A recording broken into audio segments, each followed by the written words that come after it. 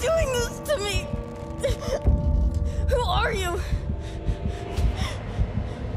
You're him! Oh, no!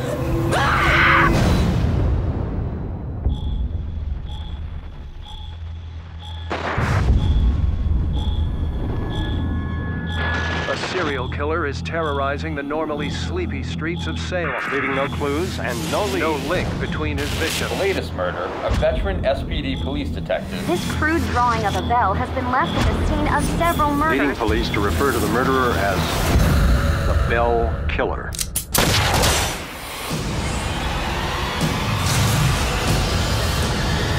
Get back here! He kills different ways every time. Figure out what that means.